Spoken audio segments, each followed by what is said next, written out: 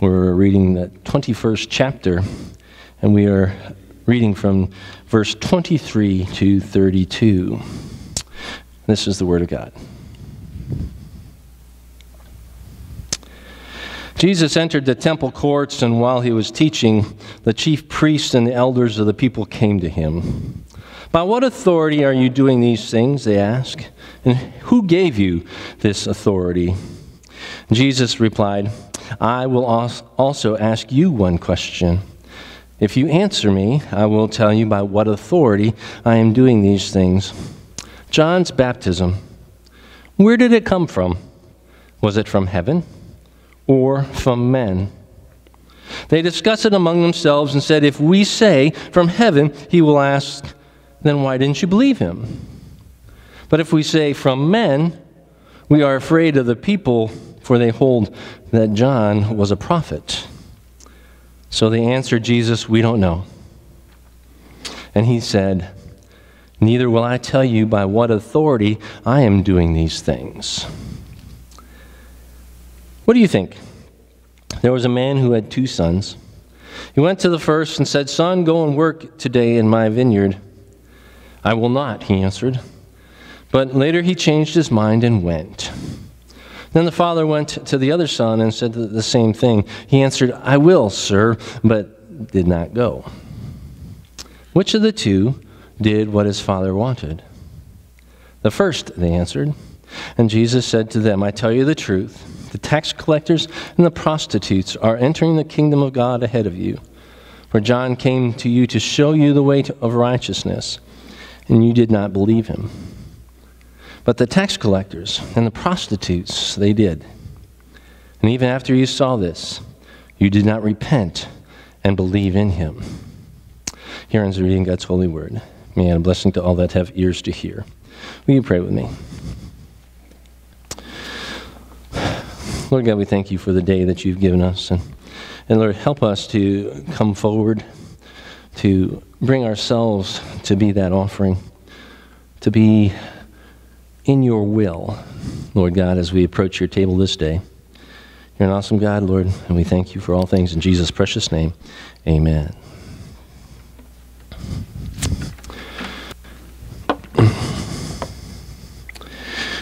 Today's story is connected in two uh, different kind of sections, but they are uh, connected.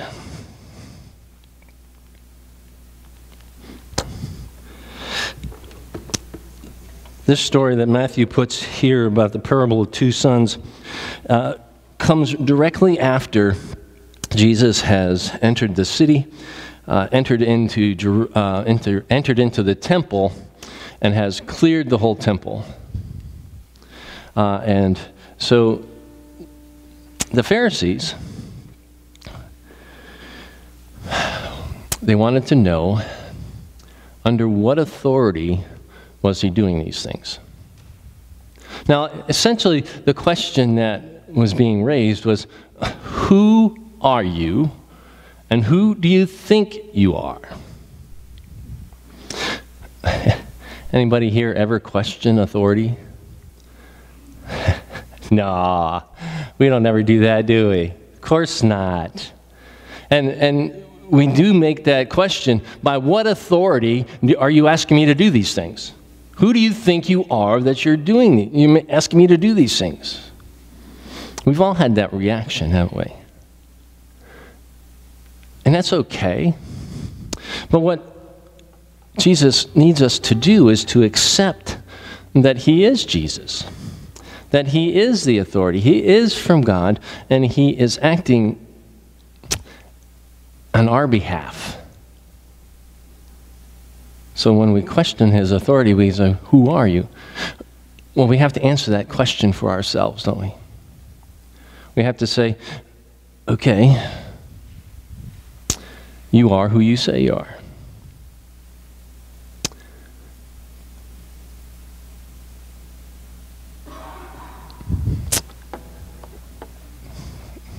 my uh, mind has went about five different directions this week on this on this uh, uh, on this message.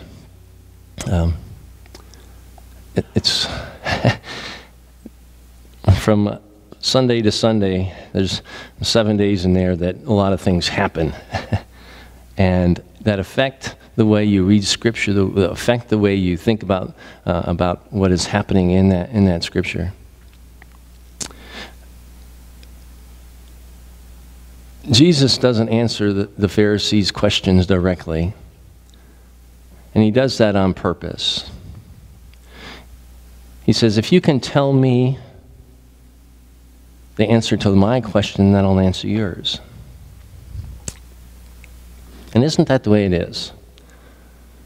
If we ask a question, Jesus often says, we, You need to put yourself into this and seek out and trust,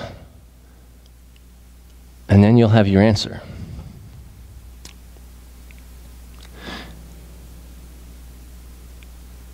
And then he goes into the parable of the two sons.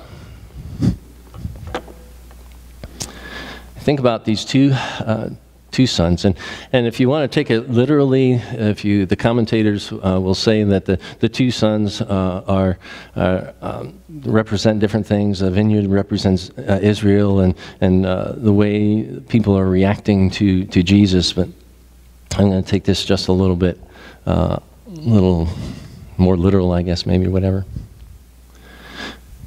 But essentially, you have two sons. And he goes up to the first son and says, uh, I need you to go work in the field today. And, and the son says, No way, I'm not going to go out there. And he goes to the second one, and, and the response is, Yeah, I'll go. I want you to take a, uh, just think about the response of the father at that point in time. I went up to one of my sons and says, Go work in my field, and they says, No way, I'm not going to work in my field, my face would like, Why aren't you doing what I ask? You know, haven't I loved you? Haven't I told you? Haven't I raised you? Haven't I, you know, shared all these things with you? How, how come you won't go? Uh, and then if I went to the second one and says, hey, you know, go work in my field, and they said, sure, I'll go, and I would feel really good until half an hour later when I look out in the field and they're not there. Fortunately, Jesus is a Jesus of second chances. I was much like that first son. Uh, I was age 14. Um, my childhood had been pretty tumultuous. And uh, by the age 14, um, I had been involved in church, uh, youth group, uh, and at that time we had a very dynamic um, pastor. Uh, and when we went to uh, we went to visit some churches one one one weekend. It was a Saturday, and uh, I got back from that that visitation of the churches and felt like there was a very strong um, movement in my heart that made me to believe that I should be a, a, a pastor when I grew up. Well, I shared that and uh, got laughed at when I shared that piece of information. So you can imagine what a 14 year old boy did at that point in time. Um, I turned and I went as far in the other direction uh, of being a pastor than I could think of. It's like, I'm not going there. If that's the response I get, I'm not going there. So I turned around and went the other way. Well, fortunately, I was able to change my mind. It took me 40 years, almost. Um, but finally, I came to that point to who is Christ to me? I'd went to church for all along in those period of time. Um, but I was playing church. I wasn't bringing myself, I was just being there. Until it was a uh, encounter outside of Watsontown. Um, uh, it was a tent revival. And at that tent revival, it was in my face that I needed to decide who Christ was. And at that moment, I said, okay, I'll do what you wanted me to do all those years ago. Play the video, will you?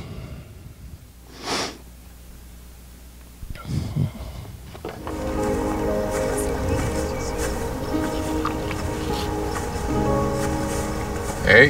Hey. What are you doing here? Just hanging out with some old friends. You knew all along, didn't you? You knew the dam was unstable. It hadn't been for the ark, my family, the neighbors. Can you turn the volume I up, fought you every step of the way. Yes, but you did it. So you had nothing to do with the flood? Like where the ark landed exactly? I gave you a little shove at the end. Sue me. you did good, son. You changed the world. No, no, I didn't. Well, let's see. Spending time with your family, making them very happy. Gave that dog a home. Right, so? So, how do we change the world? One act of random kindness at a time. One act of random kindness. Wow. It's time. Do the dance. Care to join me?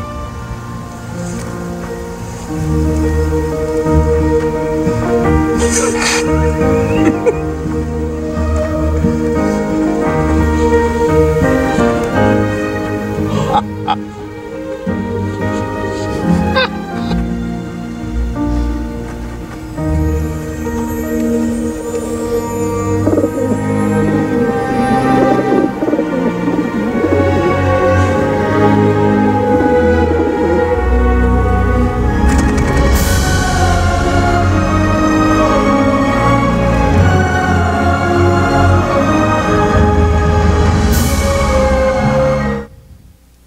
So, which son was in the Father's will? The one that, that said no but went anyway? Or the one that said, yes, I'll go and, and did not? The Pharisees answered, well, sure, the first one. One act of random kindness can change the world. One act of random kindness can change the world. And if we're acting kindly to one another, then we're in the Father's will, aren't we? We're in God's will. Because that's what God wants from us, right? To be in right standing with Him. John came to uh, giving a baptism of repentance uh, with water as a symbol. One act of random kindness is enough to change the world. Thursday, we celebrated the life of, of Loretta. Uh, what a celebration. What a testimony uh, to the way that, that Christ wants us to uh, live out our lives. I mean, story after story, we, we heard of her unconditional love for others, her willingness to serve, her putting other people first.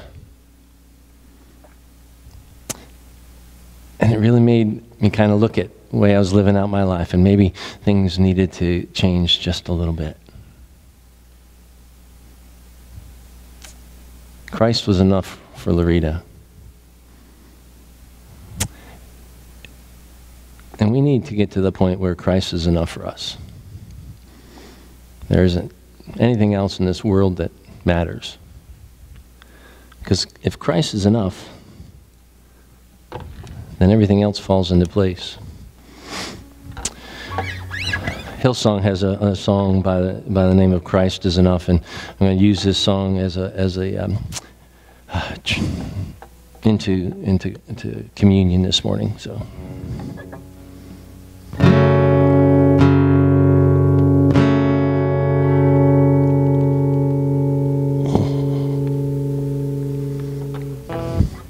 Make sure all my, my uh, buttons are pushed.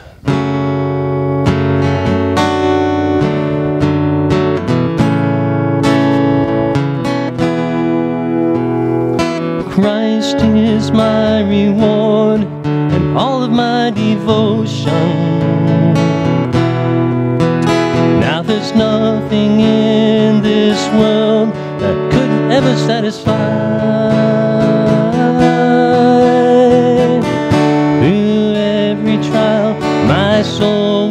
Sing,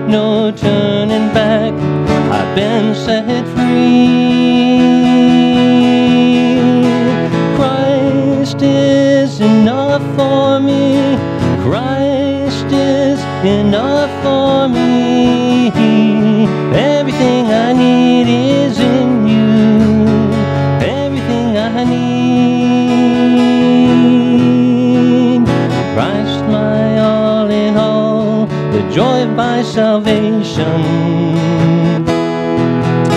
And this hope will never fail. Heaven is our home. Through every storm, my soul will sing. Jesus is here.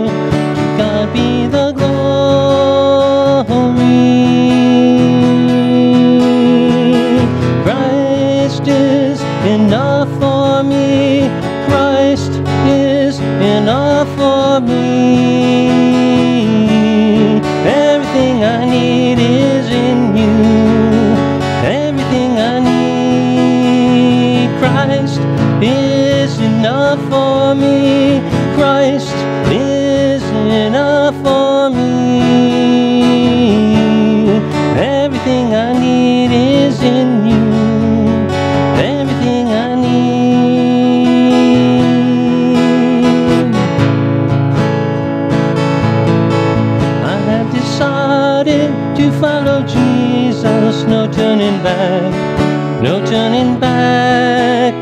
Decided to follow Jesus, no turning back, no turning back.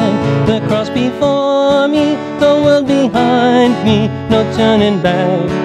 No turning back, the cross before me, the world behind me. No turning back, no turning back.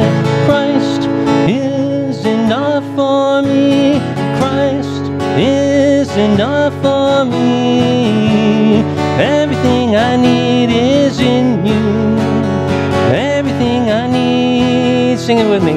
Christ is enough. Christ is enough for me. Christ is enough for me. Everything I need is in you. Everything I need. I have decided to follow Jesus. No turning back. No turning back. I have decided Jesus. No turning back. No turning back.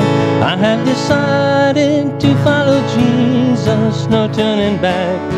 No turning back. I have decided to follow Jesus. No turning back. No turning back. Christ is enough for me. Christ is enough for me.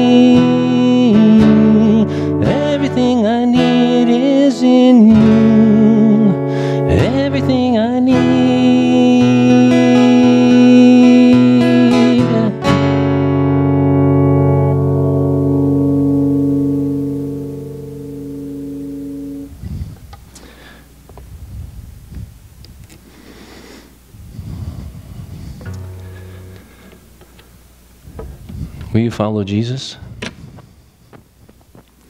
Will you go where he leads without questioning that authority? Will you go where he goes? Will you do what he does?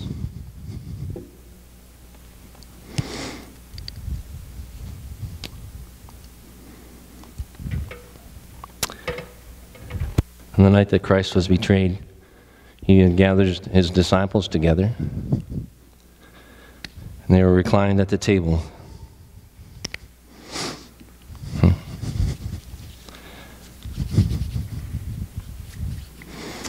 He brought them together to, to celebrate the Passover meal. He'd set the table. He told them where to find things and and what to do.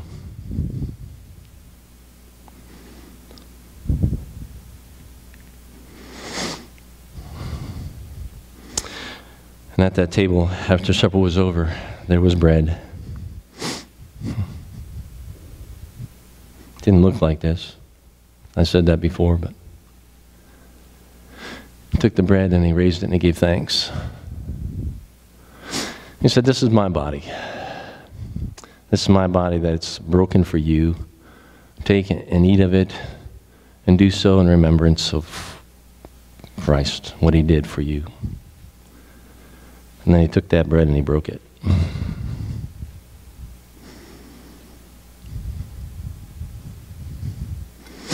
Likewise, after supper, he took the cup and gave thanks. And he said, This is my blood, the new covenant that's been poured out for you and for many for the forgiveness of sins.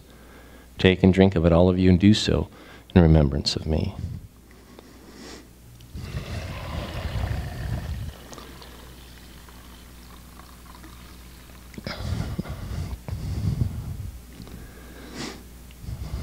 Will you pray with me?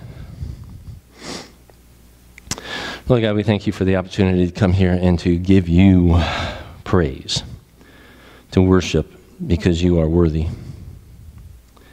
As we approach your table this day, Lord, we ask that you would pour out.